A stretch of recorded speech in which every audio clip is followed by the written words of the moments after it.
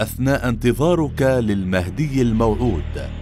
هل ستسقط كما سقط من آمن مع نبي الله نوح من قبل؟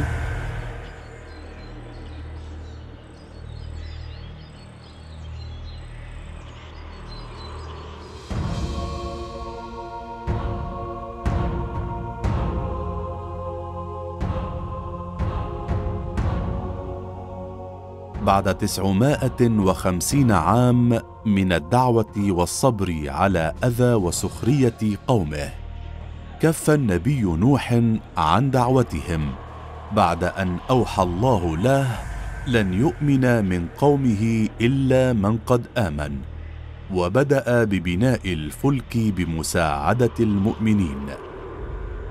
كان الفلك أمل المؤمنين المستضعفين للتخلص من الظلم واللامساواة ولكن لم يدخل كل الذين آمنوا السفينة. فما الذي حدث؟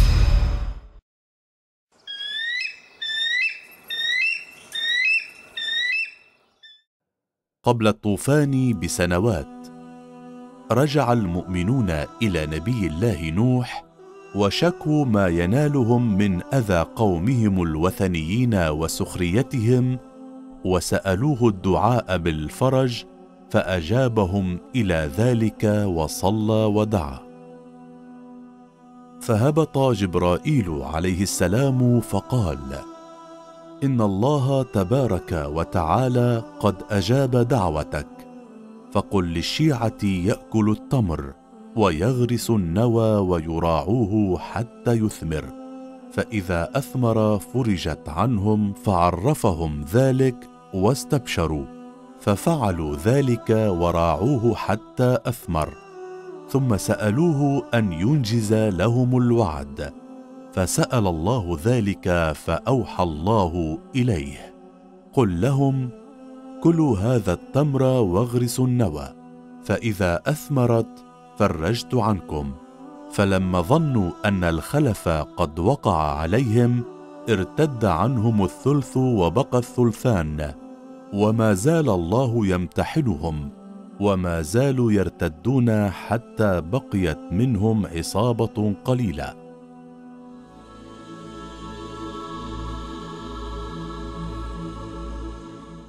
التلكؤ عن انتظار الفرج هو السبب في ارتداد قسم كبير ممن كان قد آمن مع نوح وفي عصر الغيبة سيكون سببا لارتداد أكثر القائلين بإمامة الإمام المهدي لطول غيبته. فقد روي عن الإمام الصادق قوله والله ليغيبن إمامكم سنينا من دهركم ولتمحصن حتى يقال مات أو هلك بأي واد سلك ولتدمعن عليه عيون المؤمنين. لذلك فلنبتهل إلى الله تعالى في عصر غيبة الإمام المهدي بالدعاء. اللهم فثبتني على دينك واستعملني بطاعتك. ولين قلبي لولي أمرك وعافني مما امتحنت به خلقك وثبتني على طاعة ولي أمرك الذي سترته عن خلقك. فبإذنك غاب عن بريتك وأمرك ينتظر وأنت العالم غير المعلم بالوقت. الذي فيه صلاح أمر وليك في الإذن له بإظهار أمره وكشف سره.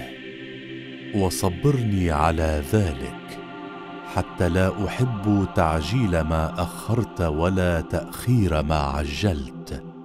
ولا أكشف عما سترته ولا أبحث عما كتمته. ولا أنازع في تدبيرك.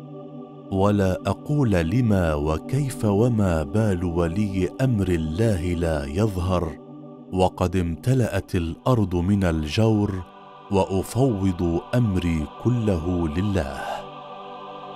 اللهم لا تسلبنا اليقين لطول الأمد في غيبته وانقطاع خبره عنا ولا تنسنا ذكره وانتظاره والإيمان به وقوة اليقين في ظهوره والدعاء له والصلاة عليه حتى لا يقنطنا طول غيبته من ظهوره وقيامه. ويكون يقيننا في ذلك كيقيننا في قيام رسول الله صلى الله عليه وآله وما جاء به من وحيك وتنزيلك.